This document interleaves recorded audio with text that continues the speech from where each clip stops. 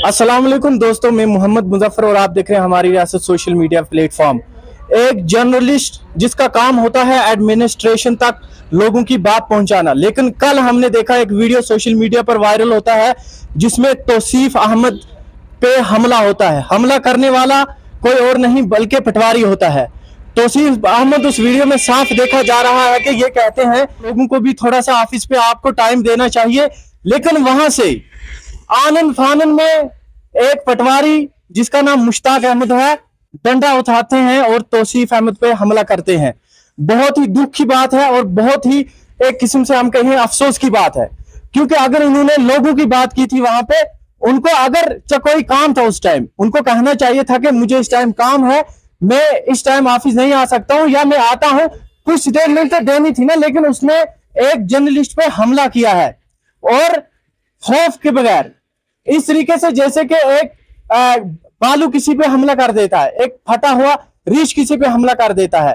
लेकिन बहुत सुनकर ये अफसोस हुआ और वो वीडियो वायरल है, हम इसी तोसीफ साहब से जानना चाहेंगे, आखिरकार उसने हमला क्यों किया है? एक आम इंसान जिसके पास कैमरा नहीं होता है, जिसको बात करने का सलीका बेचारे को नहीं मालूम होता है, जो एक इलिटरेट पर्सन है, वो उस पर अगर इसकी जगह हमला हुआ होता तो उसकी बात कहाँ निकल कर सामने आती? लेकिन एक पढ़ा लिखा इंसान, एक जर्नलिस्ट और इस पर हमला किया है। हम बात करेंगे कि आखिरकार ऐसी नौबत इसको क्यों? अस्सलाम देखिए वालेकुम देखिए मैं आपको बताते चलूँ कि एक जर्नलिस्ट एक पत्रकार का काम क्या होता है? जी सर। आपको लोग कॉल करते हैं आपसे पूछते हैं कि वहाँ पर फॉर एग्जांपल ये एम्प्लॉय या ये ऑफिसर वहाँ पर काम नहीं करता या हमारे लिए वो काम नहीं करता। मैं जिमन वहाँ से गुजर रहा था। मुझे बेसिकली कुछ दिनों से लगातार कॉल्स आ रही थी कि पटवारी मंजूर अहमद भट्ट अपने ऑफ़िस पे काम नहीं करता है।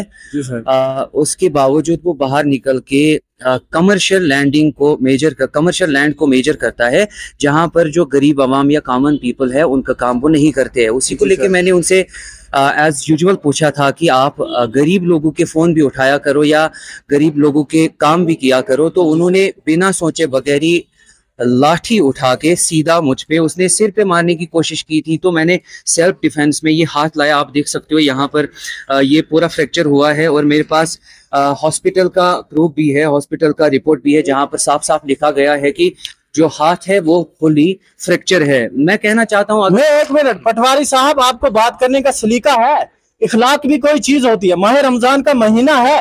क्या कह दिया था इस बेचेरे ने? क्या आपके पास ऐसा सबूत है कि इसने पहले आपको धमकी दी थी कोई गाली निकाली थी? ये सब कुछ आपकी वजह से हुआ है और इसका जवाब जो है आपको देना ही पड़ेगा। जी जी सर। जी बिल्कुल मैं जवाब चाहता हूँ क्योंकि मैंने ऑलरेडी ये वीडियो कल डिप्टी कमिश्नर को भी टैग किया और ग्रीवियंस में भी मैंने अपना रिपोर्ट अपनी अर्जी डाल दी कि इसका इंसाफ होना चाहिए।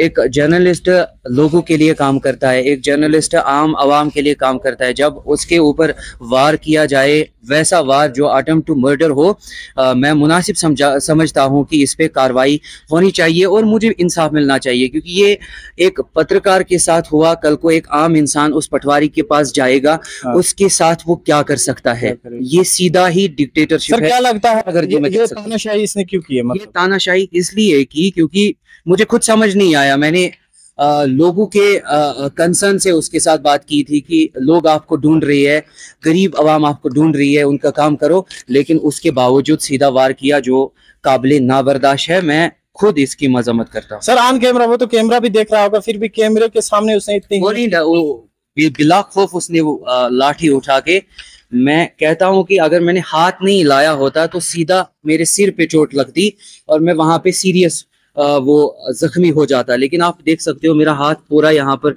फ्रैक्चर है। ये हॉस्पिटल का रिपोर्ट है।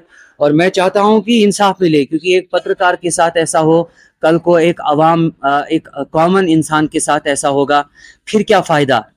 ये गवर्नमेंट इनको अपॉइंट करता है, इनको अच्छी खासी सैलरी देता है, लोगों के लिए काम करने को इनको सैलरी मिलती है जब ये यही करेंगे फिर क्या हमारा क्या फ़ायदा फिर आ, आ, बस। जी जी। देखो आ, एक इलिटरेट तो जॉब नहीं कर सकता है।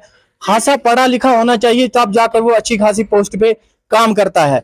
लेकिन वहीं पे उसके साथ साथ स्कूल में भी पढ़ाया जाता है गुफ्तगु के आदाब होते हैं। वो सब कुछ ये ऑफिसर जो है भूल जाते हैं।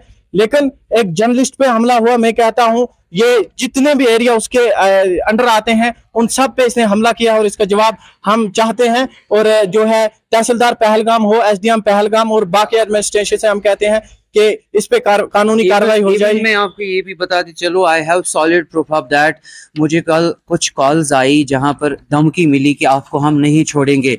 आपको सीधा मार देंगे। आप बीजेपी के बीजेपी के साथ हो आप बीजेपी के टुटू हो लाइक दैट मुझे ये कहा। और मैंने वो रिकॉर्डिंग्स भी आ, मेरे कैमरे में कैद है। मैंने उनको भी एज सबूत अपने मोबाइल में स्टोर किया है। ऐसी बहुत सारी कॉल्स मुझे कल से आ रही है। मुझे वो डिप्रेस करने की कोशिश की जाती है। मैं चाहता हूँ कि एडमिनिस्ट्रेशन थोड़ा सा इंटरफियर करे और मेरे लिए इंसाफ ज़रूर इंशाल्लाह हम उम्मीद करते हैं कि अभी इंतजामिया जाग रही है और इंसाफ इंशाल्लाह होता है। ऐसा नहीं कि इंसाफ मार चुका है और इस भाई के साथ इंसाफ होना चाहिए और ताकि और इनका कहना था कि अगर मुझे इंसाफ नहीं मिला तो मैं जो जर्नलिज्म को छोड़ दूँगा। क्यों? छोड़ दूँगा क्योंकि मुझे इसके बाद कोई जर्नलिज्म नहीं करूँगा। मैं मजदूरी करूँगा बाहर जाके। जैसे सब दुकान चलाते हैं, मैं भी दुकान चलाऊँगा। क्यों मुझे ऐसा जर्नलिज्म करना है जहाँ पर मेरा कुछ ना ही मुझे कोई सैलरी है, ना ही मुझे कोई पे करता है। मैं लोगों के लिए काम करता हूँ, जब आपको उसके बावजूद भी कोई वार करे attempt to murder attempt to murder तो क्या फ़ायदा? मैं जर्नलिज्म छोड़ने के लिए तैयार हूँ, अगर मेरे साथ इंसाफ ना हो। इनशाला हम उम्मीद करते हैं कि हमारे हुनहार जो है डीसी साहब या यहाँ के इंतजामिया की बात करें तो तहसीलदार साहब इंशाल्लाह इस पे कार्रवाई करेंगे। तो साहब बात करने के लिए आपका बहुत बहुत शुक्रिया। हमें दीजिए इजाज़त। Thank you